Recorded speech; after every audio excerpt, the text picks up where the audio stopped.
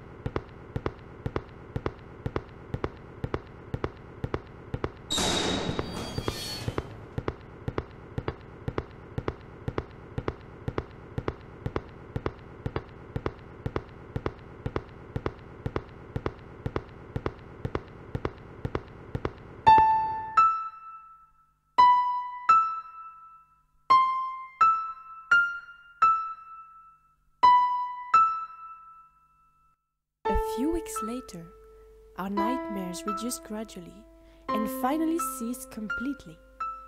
We went home, relieved, but on the other hand, frustrated by the failure of our mission.